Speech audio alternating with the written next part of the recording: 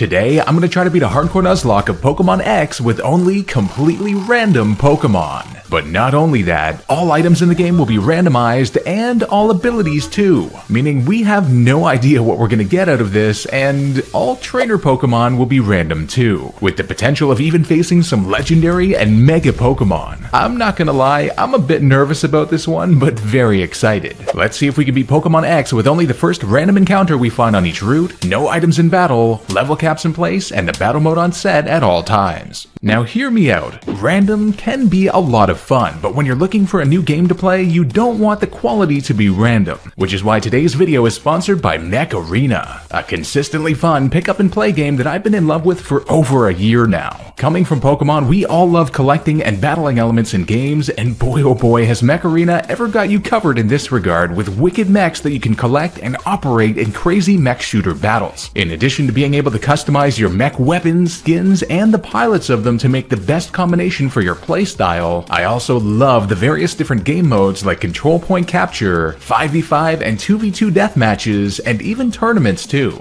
The cool strats that you can employ never get old either. For instance, one thing I quickly discovered was that you can shoot with just one of your two weapons while the other is reloading, or shoot with both at the same time if you need more power, such as when an opponent is just about to capture your base and you think you're in the clear to reload afterward. Like all good games, Mech constantly has exciting news and updates to keep things fresh. First up, this March is the Holi event, which gives players the chance to earn some new skins and the ultra powerful Missile Rack 16. Then it's time for the Shamrock Slam, bringing in the Sentinel mech, whose tall shield ability makes it a Javelin fan's worst nightmare. The event also introduces the Helix Rack homing missile launcher, a pilot named Diesel, new implants, and two deep green mech skins, my favorite color. Mech is completely free to play on Android, iOS, and PC right now, and you can use my link or scan the QR code right here to get a free starter pack worth $30, Rocket Mortar 6, an amateur crate, and a skin to help kickstart your game. And if you're quick, you can add me as friends and we can play some matches together, so don't wait around. Alright, here we go, and. Oh, okay, I was not expecting that to be random too.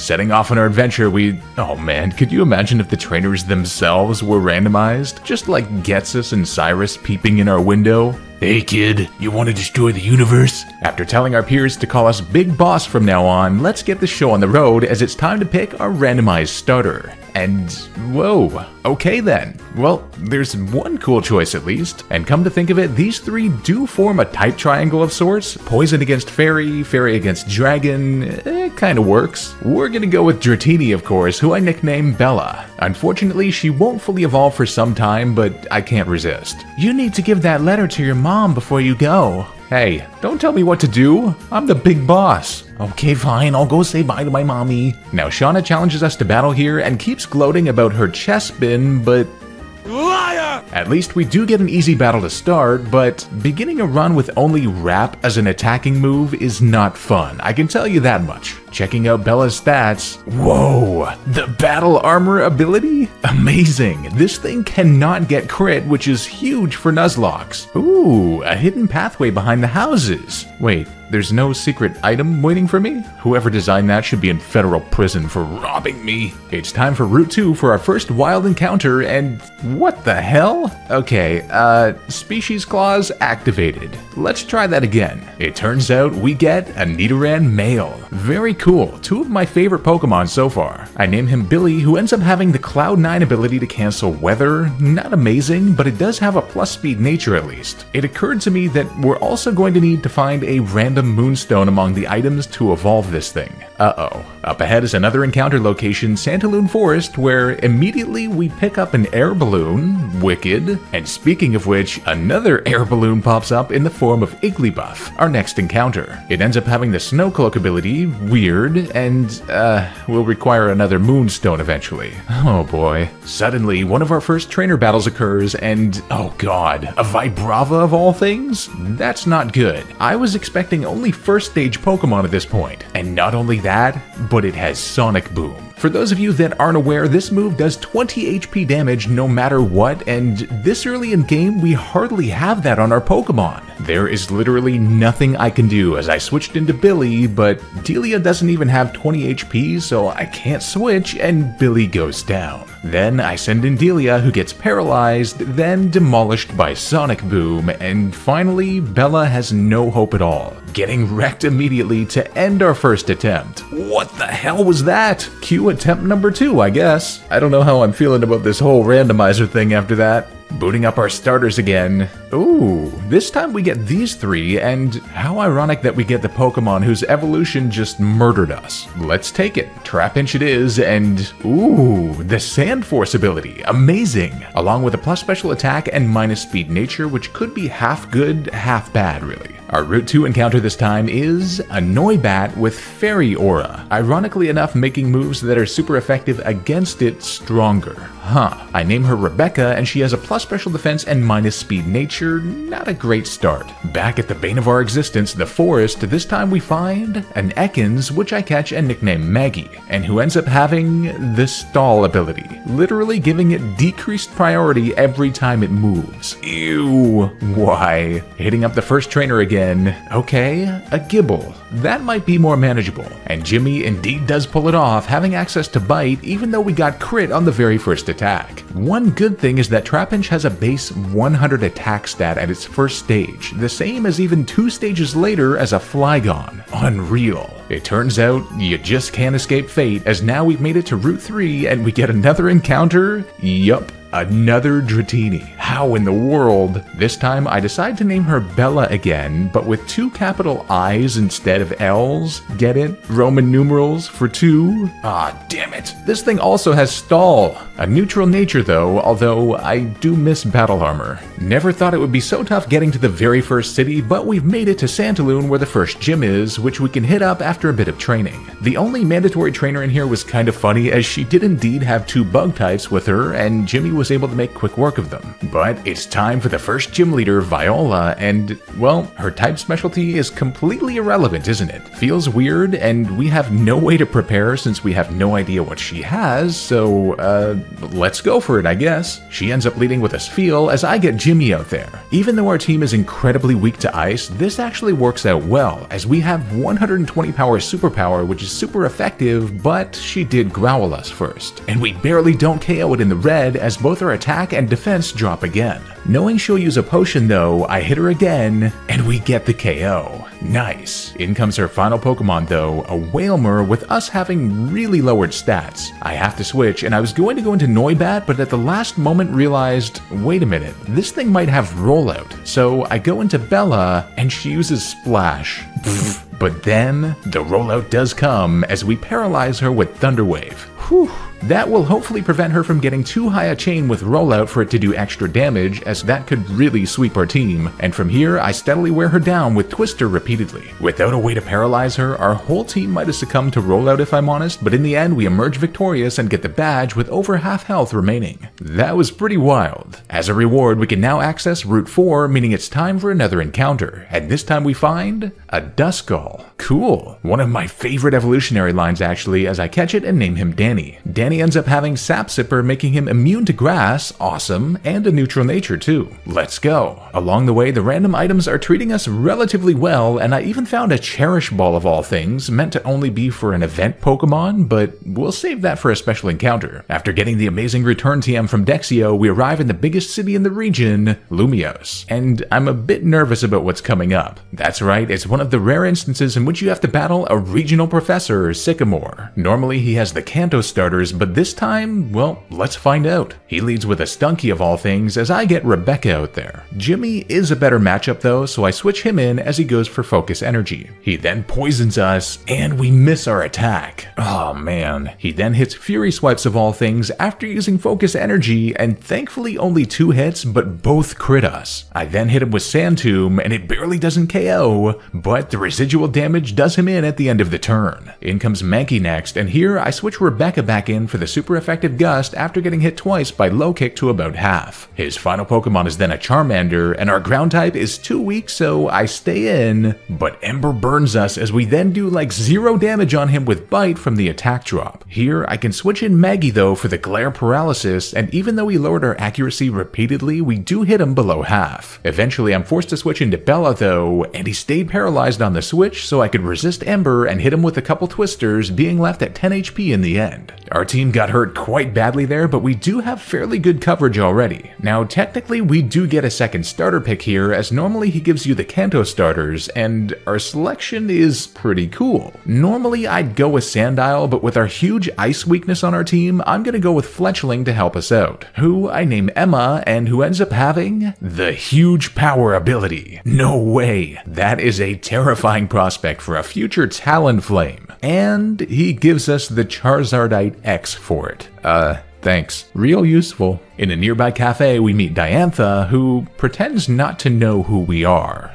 Say my name. Sylphie boy. You're goddamn right. Wait, did she just say she's a trainer in her off time? As champion of the damn region? Nearby, we run into Korrina with her two Lucarios, and oh, don't tell me those won't actually be Lucario in battle. That would be too funny. Route 5 brings about a wicked encounter for us, a Sentret. Why wicked, you might ask? Well, it turns out Melanie the Sentret has none other than huge power and a neutral nature. I'm gonna replace Atkins with her for now, as an actually good Furret is too good a prospect to pass up. In a double battle up ahead, I got to learn what pain really is, as they had middle stage Pokemon already and an 80 base special attack Vanillish smashed Melanie with an uproar and got a crit to take down our huge power Pokemon. Okay, that one hurts. A lot. But as some recompense, we do find the Earthquake TM of all things, which is nuts. Route 6 brings us a Mareep with tangled feet, interesting, which I'll leave in the box for now. After this dude tells us in detail about his political affiliations, we also pick up the Soft Sand item to boost ground type moves. No way. Jimmy is going to be a monster in the early game. Not only that, but we find an even better item ahead Bridge Mail M. How did I get so lucky?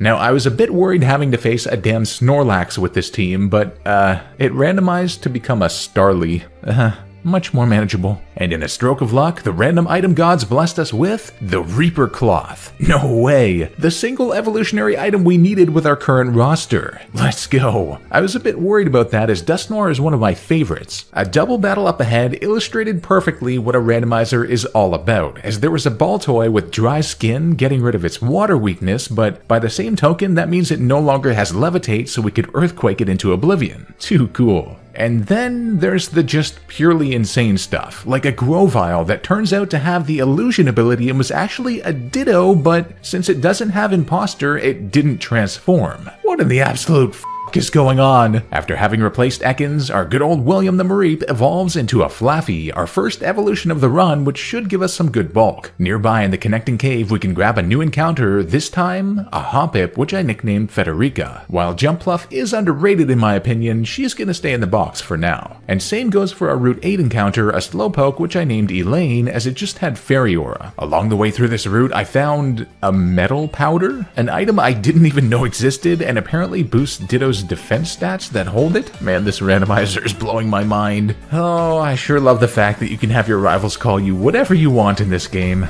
I sure am, peasant. In the Glittering Cave, we can grab yet another encounter, this time a Solosis that I named Wilma. Huh.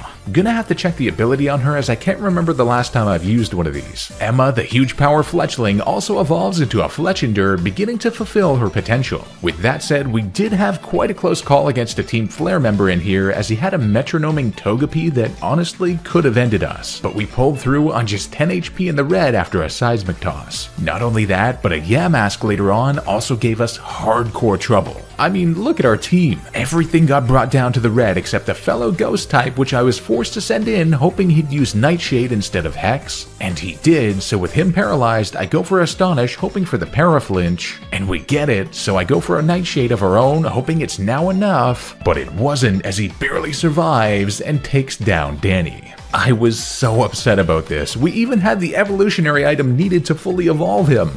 Why? Checking our Pokemon in the box, it turns out Wilma has Unaware, which is pretty darn good, so she's gonna replace Danny, as we also found the Psychic TM and the Odd Incense to boost psychic power. After scoring a few numbers from the babes on the beach, we arrive in Cyllage City where the next gym is. Now the fortunate thing here is that the gym allows you to skip all the trainers if you know what you're doing, and in a randomizer that is very valuable as you never know what kind of hell spawn awaits you. The second gym leader is Grant, and again, it's incredibly weird going in with no planning, but let's see what he's got for us. He leads with a Porygon as I get our new encounter Wilma out there. Amazingly, Wilma has light screen and reflect, so I go for the former to boost our special defense. Turns out he only has Psybeam, which is resisted, then our Psychic nails him to a quarter. From there, he just recovered and poisoned like a madman, meaning eventually we took him down. His second Pokemon turned out to be a Growlithe, not too bad in theory, but it has Fire Fang and does a surprisingly large amount of damage and somehow survives our attack. Huh. I have to switch, and I'm a bit worried about maybe a Thunderfang on Fletchinder, so I go into Rebecca instead, as another Firefang hits us below half with a crit. Sheesh. But we do have a berry, so I feel safe staying in. But then he goes for reversal out of nowhere, and even though it was resisted, it smashes us to the red before a final air cutter does the job. Man oh man, quite close, but we made it through for our second badge. As if things weren't getting crazy enough, you'll never believe this. I went to Route 10 to get our next encounter, but ran into a horde of Aipom, And one of them had Arena Trap of all things, and the game doesn't tell you which one it is. So I was stuck there with all of them Fury swiping and sand attacking me, so I couldn't hit them nor switch out. And after like 10 minutes of this hell, I couldn't do anything but helplessly watch as Wilma got taken down. These are not the kind of threats that I'm used to, but the last one was our encounter technically, so I caught one and named it Bert. I hate you, Bert but welcome to the team. In Geosenge Town, we have a battle that I've been fretting a bit, the one with Korrina. And as I thought, the Lucarios she has with her turned out not to be Lucarios, with her leading with a damn Kabutops, which I quickly realized is our team's worst nightmare, and especially Emma's who I led with. But it turns out Kabutops' early level up moves aren't the best, so thankfully we're able to pull through by switching into Jimmy with a stab super effective soft sand boosted Earthquake, and then in comes her second Pokemon, an Altaria, which immediately smashes us with a takedown out of nowhere, and Jimmy survives on just 4 HP before landing a rock slide. Goodness gracious. But I have a funny plan here. I switch in Bert with rough skin and the rocky helmet attached, so in addition to the takedown recoil, she gets two other forms of recoil, then we can outspeed with return to win the battle. Now that was a funny strat. Our next encounter comes on Route 11 and turns out to be a horde of Slugma with one Marill. And I guess the Marill's fair game here, as eventually I catch it and nickname her Marina, who has strong jaw of all things, along with a timid plus speed and minus attack nature. Without having huge power, Azumarill likely won't be great, but we'll see what happens. Nearby, we find a spell tag to boost ghost moves, which is a painful reminder. This would have been great for a ghost type. One!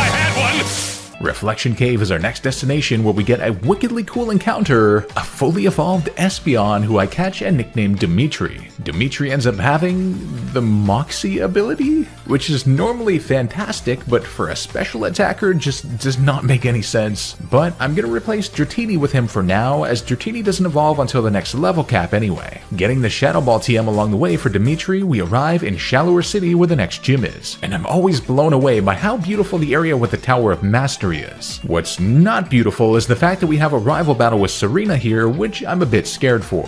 She leads with a Galvantula, and I had Dimitri out first. A brutal matchup off the bat. I have to switch, so I go into Jimmy, and thankfully she just used Gastro Acid. From there, she hits a slash for nearly half, then Rock Slide brings her to a third. A crit would KO us from here though, so I have to switch as I go in for Bert for the double recoil that brings her into the red, then she hits us again and takes herself down from there. Okay, not gonna lie, Bert's kinda growing on me. In comes Nidorino next, and this is an easy task for Dimitri to come in and nail it with a psychic to end its hopes and dreams. Finally, there was her Ferrothorn, and, well, we only have one thing that can even touch that thing Emma, who unfortunately only has Ember as a fire move. Thankfully, we do resist her moves though, although Ember hardly does anything, even being four times super effective. It was a wild back and forth with no burns unfortunately, but Emma pulled it off below half in the end. With With that victory under our belt, we can hit up the Shalour gym, normally a fighting type one, and in this one you have to face all four trainers. The battles went relatively well on the whole, although we did face one incredibly scary Excadrill of all things. Knowing she was gonna go for Slash, and that two-turn dig is her only ground move, I switched in William for Rocky Helmet recoil, but she got a massive crit. Then did the same for double recoil on Bert before we avoided her attack and hit a super effective Brick Break, but she barely survived in the red. With no choice remaining, I sent in Dimitri, and she went for Dig this time, so amazingly I could switch in Emma, who's immune, and then outspeed with Ember for the takedown. After the battle, Bert learns double hit and now can evolve into an Ambipom, giving us way more power and speed, and also William ends up evolving into an Ampharos, our one source of bulk on this team at the moment. The third gym leader is Korrina, and I'm really hoping she has a less terrifying team this time around, and my hopes do come true at least to start as she sends out a Lombre. I lead with Bert, who, after the double recoil from her fake out, immediately annihilates her with return. Let's go. But in comes a Hitmontop next. Huh, I guess she is a fighting trainer after all. Our perfect answer here is Dimitri though, who tanks two attacks and nails it with a monster psychic one-hit KO. Her final Pokemon is Furret, and it might not look like a threat, but I suspect that like Sentret, this thing has huge power, so I switch into Bert, and wham, we get nailed by a huge power critical hit slam to destroy Bert instantly. No way, man, come on! After the recoil she gets though, we can relatively safely send in William to tank another one, give her more recoil, and our Thunder Punch only brings her to the red. Damn it. I know she'll heal though, so I go for another to bring her near half. Then I can't risk a crit on anyone else either, so I stay in, and yup, she gets another huge power crit to take William down. What the hell is happening? From this range though, I know that Dimitri can outspeed with the Psychic for the victory, but at the cost of two of our Mons. Huge power for it is a beast, but honestly those crits were what really did us in. Hey look, it's a Gigantamax Mega Lucario! Hey buddy! Please don't hurt me. After receiving our Mega Ring, we have to do battle with Korrina, who I know is going to have a Mega, but I just don't know what it's gonna be. She says, Ready, Lucario? Then proceeds to send out the Pokemon of ours that she just murdered in cold blood. Ampharos, of course. And not only that, but the Pokemon that she gives us, technically our Shalour City encounter that I purposefully waited for knowing we'd get the Mega Stone for it, is an Aerodactyl. Well, this ain't a good matchup, as we have nothing but ancient power and get pulverized by her electric typing. Huh, technically our encounter just died, didn't it? Brutal. Checking it out later, we also had a plus speed nature and unburdened too. It would have outsped light itself. Would have been really cool, but oh well. We do have one positive development as Bella can now evolve into a Dragonair, although it will still be a while before she fully evolves, and Marina also evolves into an Azumarill, but again, with no huge power, I ain't too excited. Next up, our Route 12 encounter, which does have me thrilled, a Porygon, which I catch and nickname Rick, and who has Poison Heal. Amazing, meaning it essentially gets free leftovers if we pre-poison it. Interesting. I'm gonna replace Noibat with him for now. Oh, are you kidding me? Now we get the Ampharosite?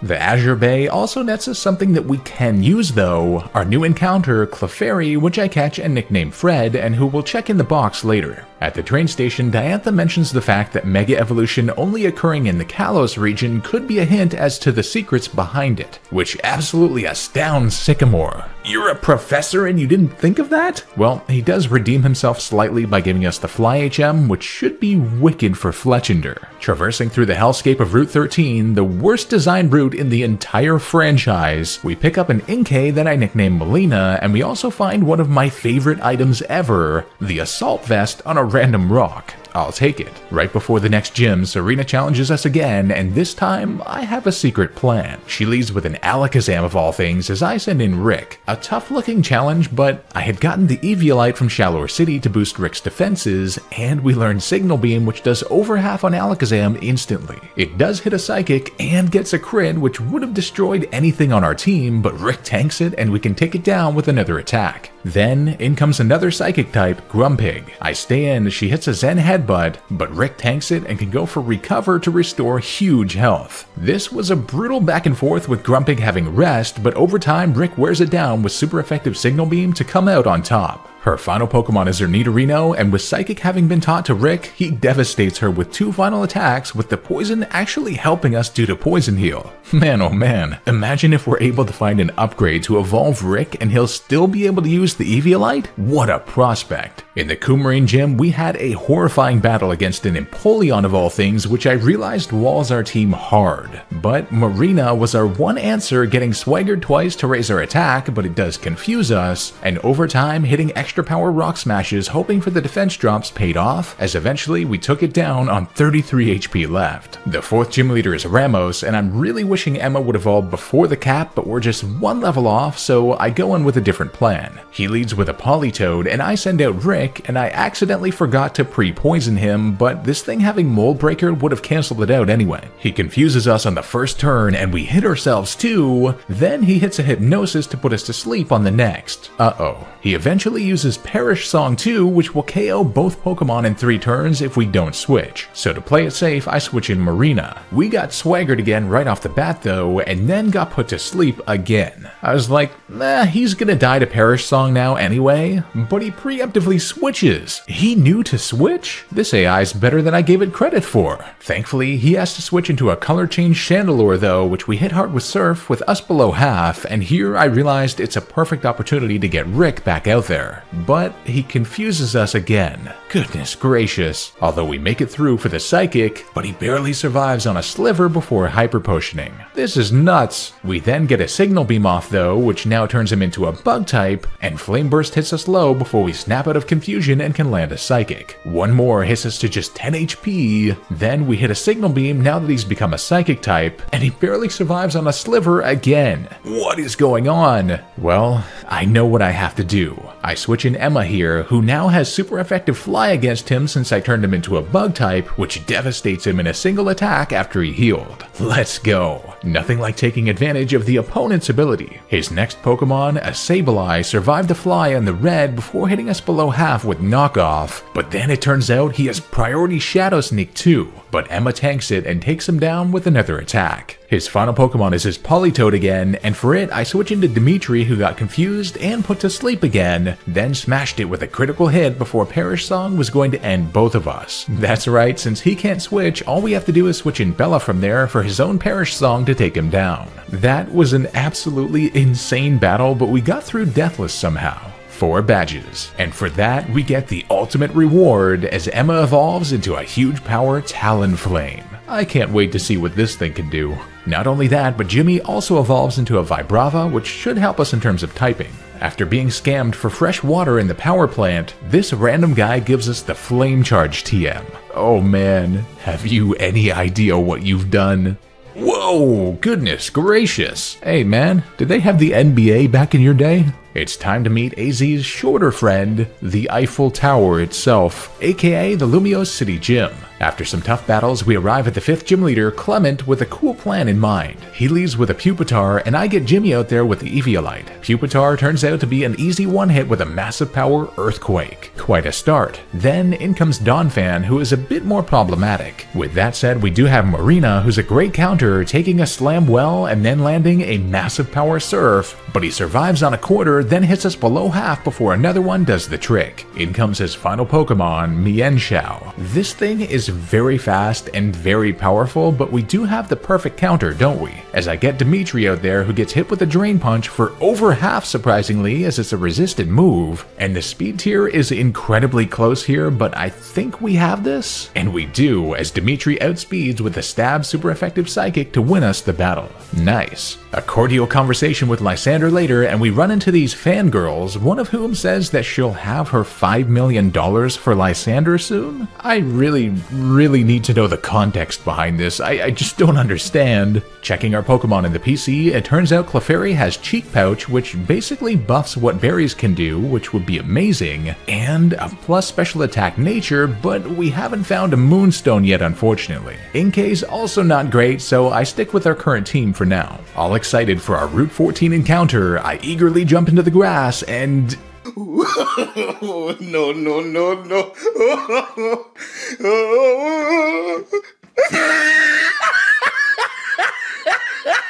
With that, we arrive in La Laverre City where the next gym is, and wanting to kind of make a random themed outfit with an assortment of clothing styles, I come out and hey, it doesn't look half bad. I. But wait a minute, that's tiny to you? Now, technically, Laverre City has another encounter for us if we fish in the pond, but it ends up being a Jigglypuff, which we run into the same Moonstone problem with. Huh. Oh yeah, I never really noticed that this gym has a giant clock on it. I don't know if I've come back in this little path before, at least not in like a decade. Oh god, X and Y came out 10 years ago, didn't it? Speaking of which, let's hit up the Laverre City gym led by the gym leader, Valerie. And this time, I'd like to test out a new evolution of ours. She leads with a Beautifly and, oh man, here comes Emma with the stab super effective huge power fly to atomize that bug. Then, the same goes for her Gengar too. Not too often you see a Gengar get outsped. Finally, in comes her Mandibuzz, and because I had the Metronome item attached to power up moves that are used consecutively, we did huge damage to the red. Then, after her Tailwind and her healing, we can hit a few more attacks to earn us the 6th badge. Unfathomable power. Valerie then says, I hope the sun is shining tomorrow. Hmm, David Hume might have something to say about that. We also get the Dazzling Gleam TM, should be great if we ever get a damn Moonstone! While battling it out in the Pokeball Factory, we encounter a Furfrou. Furfrou? I don't even know. But it's some form that I've never seen before. Ugh, that thing is an abomination. Kill it with fire. On Route 15 comes our next encounter, which ends up being a Psyduck that I catch and nickname Dominic. And we can also hit up the Lost Hotel nearby to pick up a Vespiquen. Uh, we're not really having a hot streak with encounters here, are we? But on Route 16, we do find a pretty cool one, a Fennekin that I nicknamed Daniel. Moving onward, we arrive at the beautiful Frost Cavern, and yet another encounter is available to us here, but we end up finding a few Dusclops in a row, kind of funny as that activates our species clause since we already had a Duskull, meaning we have to re-roll. And what a re-roll it was, as we end up finding a Larvitar. I celebrated so hard here. I think that's a Pokemon worthy of our Cherish Ball, and we also got a critical capture on it. It was Fate. I name her Amanda, and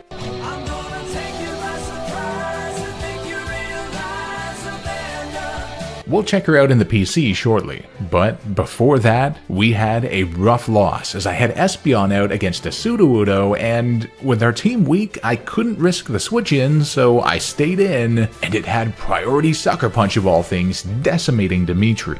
Ouch, that one hurts. Back at the PC though, I check out Amanda, and she has the Levitate ability. Damn, getting rid of her ground weakness entirely. Let's go. I add her to the team, and in no time she evolves into a Pupitar. Not bad at all, and a candidate for the Eviolite in the meantime. On the snowy Route 17, while riding on a Mamoswine, we find a new encounter, a Dragalge. Not exactly a safe place for a dragon type, is it? I name him Trevor and leave him in the PC for now. No matter how much scientific progress we make, we may never understand everything that happened in the past. Ma'am, this is a Wendy's. With that, we arrive in Anistar City where the next gym is, and while training up, we have a wicked evolution as our starter Jimmy evolves into a Flygon. Quite an upgrade. Serena won't stop pestering us, so this time I send out our newly caught Amanda with the Eviolite attached, and don't forget, at this evolution level, it gets ground type stab, so Earthquake straight up destroyed her Raichu and Nidoking, and almost took out her Drapion too, with a switch into our now fully evolved Jimmy then being able to complete the job. She then had a bulky Lickilicky in the back, but Marina was able to hold it down from there with the 120 power superpower and a final surf after we ran out of power points, being left on 44 HP in the end. Not only that, but Marina also saved our entire run against a dragon dancing Gyarados in the Anistar gym before we got to the 7th gym leader, Olympia. Emma was unfortunately over the cap at this point, but Amanda could handle her Espeon with two crunches, then she sent out Sunflora. And I kid you not, this thing started causing massive problems on our team with Leaf Storm followed by Sunny Day and Solar Beam. We nearly lost Rick because of it, then Jimmy barely didn't KO and got brought to just 3 HP before being able to take that damn thing down. Who would have ever thought a goddamn Sunflora. Thankfully though, her final Pokemon was a Rhydon, and with the special attacking Earth power, we could take it down as I knew the chances of it having Sturdy were infinitesimally small. Well, who would have guessed? It turns out Lysandre is an evil bad man, and we must destroy him. Funnily enough, he just led with a Skorupi, so Emma was able to go on a complete rampage against it with Fly. Then his Klinklang was able to be handled in a couple flame charges as it just used a Autotomize. Then both his Nidorina and Delphox were crushed by a huge power Fly each. Emma, you are a legend. But I will say things are starting to get a bit scarier with more and more powerful Pokemon coming up, like the legendary Cobalion that we encountered at one point, fortunately with Emma serving as a great counter. After Lysandre cries like a little baby at the thought of his own crimes, question mark, we rematch him and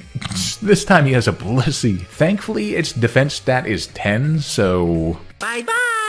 Same goes for Espeon with a defense stat of 60 and in comes Muck. We have a perfect counter to this thing, don't we? As I switch in Amanda, who not only resists his moves, but can counter with two Earthquakes for the KO. His final Pokemon is Golurk, which did actually cause some problems, but it ended up using Curse, which gave us the perfect opportunity to take it down with a Surf from Marina. Not bad at all. Then, one of the Flare admins had a Mega Medicham of all things, and thank God we had Emma out and we didn't miss our fly, or that thing would have wrecked us quite hard. It's time for some legendary madness as Xerneas breaks out of its, uh, tree cage thing. And as it turns out, Xerneas isn't a Xerneas at all. It's a Shaymin. Alrighty then. I mean, I guess it works. It's still a legendary, or mythical at least. The final Lysandre battle is upon us, and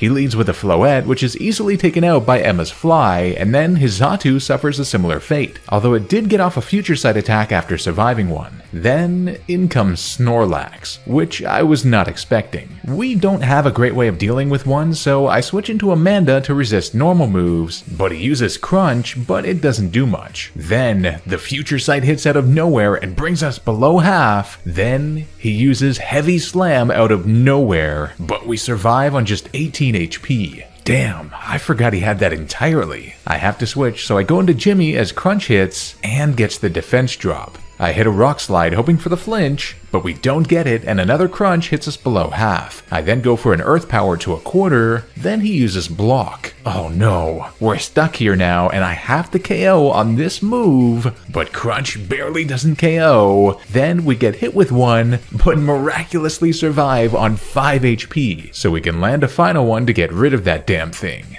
Whew. Then in comes his Charizard. And I know this thing will be a Mega, but the problem is we don't know which one, X or Y. So I take the risk and go into our best counter regardless, Marina, and it was Y, but I realized he won't have Drought. So Solar Beam's not an immediate concern, although he did get a crit on his second wing attack to bring us into the red, then Surf does just over half. Here I switch in Emma though, who can tank a flamethrower and respawn with a return for the final victory over Team Flare. We did it! Route 18 brings about our next encounter, and we found a horde of Noctowl, and I was like, you know what? I'm far too tempted to just rock slide all five of them in one hit, so I do so. And we miss one of them, which survives. My god, it's the Fated one.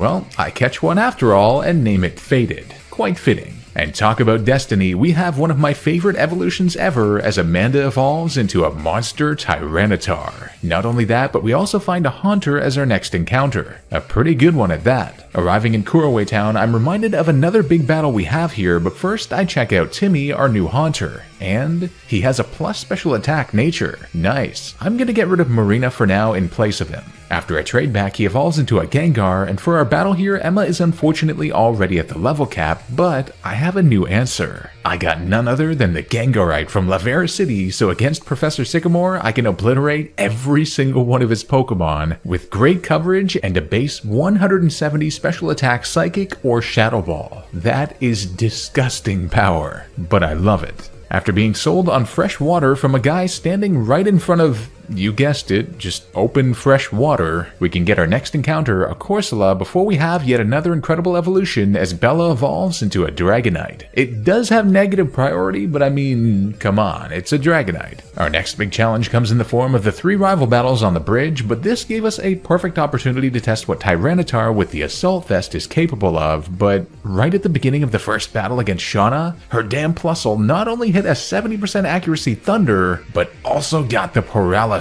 Not good, as we have to lead with him every consecutive battle. Regardless, Earthquake did her in, then she had an Articuno of all things, but luckily Rock Slide is the perfect answer, although we got hurt quite a lot due to paralysis. Then her damn Beedrill took us to just 18 HP in the red before we ended the battle. Sheesh. Much worse than I was expecting, but thankfully against Tierno, a switch into Bella, our new Dragonite, was able to handle his entire team, but not without taking significant damage in the process. Finally, because you actually get to heal before the Trevor battle, we had a good run, taking down his Heracross with Bella, his Whimsicott with Rick, and finally his Rotom fan form was easy pickings for a switch into Jimmy for the electric immunity, then a super effective Rock Slide to finish the battle marathon. Deathless too, not bad. With that, we've arrived in the city where the final gym is, Snowbelle. Right nearby in the Winding Woods, we can pick up a Piloswine encounter that I named Mike, and we also finally find a Moonstone. It's about damn time. Not only that, but we also find the dubious disc for Porygon, which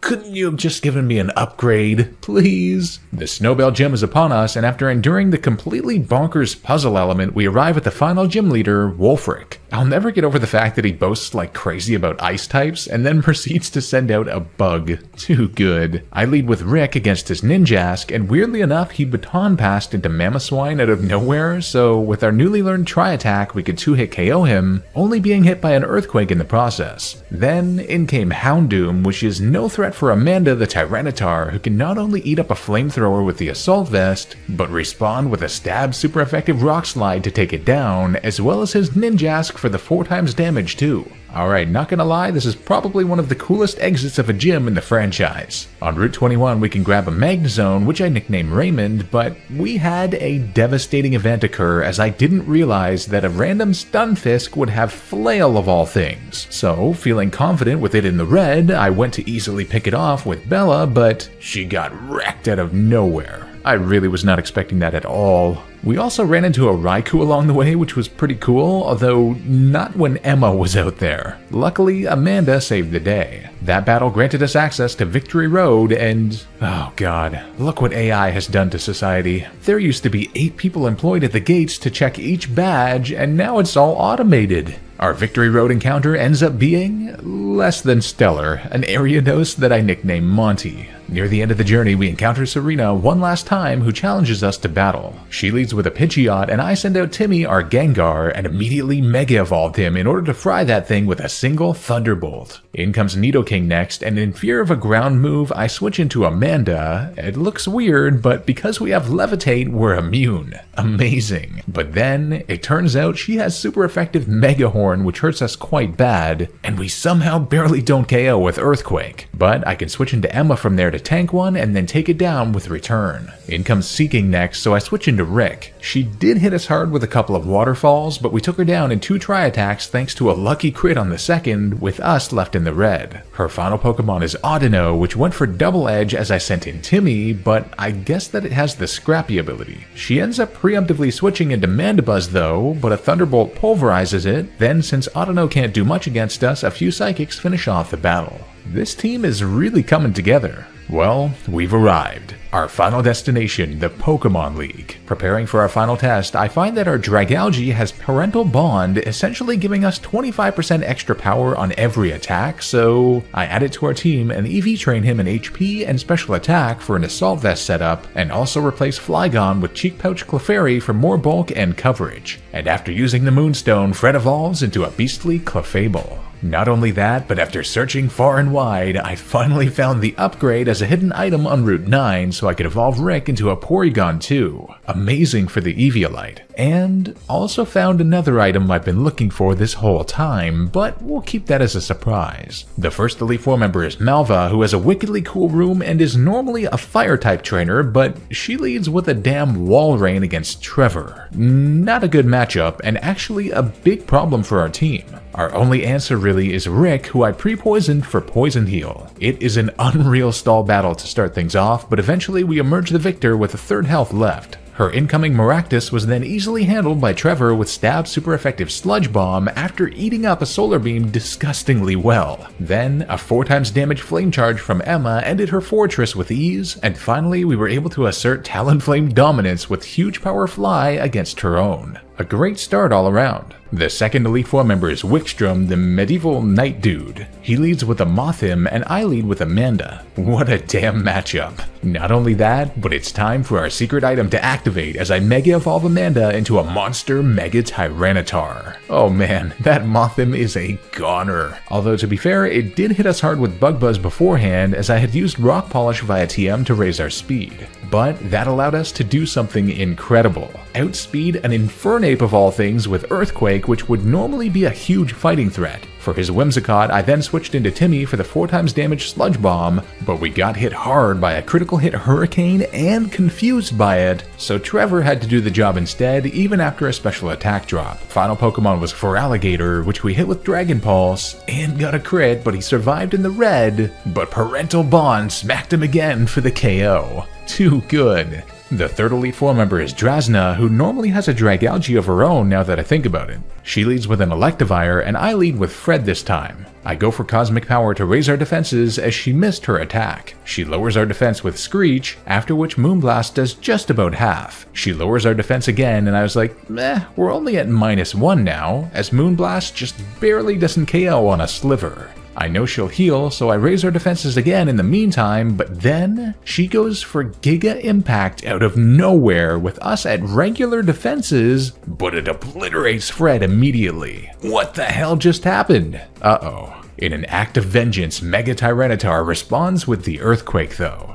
Then in comes Relicanth who gets hit hard with one as well, but I'm fearing a crit dive, so I switch into Trevor who tanks it and takes it down with Dragon Pulse after another. Her Slowking then went to war with Rick and completely lost the battle, after which she sent in Pyroar, which got a critical hit overheat to do massive damage on us, quite scary, but Rick did the job with a second Tri Attack. The last Elite Four member is Siebold, who fittingly enough actually leads with a part water type, Lanturn. But I made a mistake and had accidentally full restored Rick between battles, so looking ahead to the final battle, I put a Toxic Orb on him for this one to reactivate it. And I forgot to restore his power points. Lanturn immediately gets a crit on us too, bringing us below half before Tri Attack doesn't do much to be honest. I know I need to switch, so I go into Trevor who can eat up anything that he has, so a few Dragon Pulses take him down with the help of Parental Bond coming in clutch again.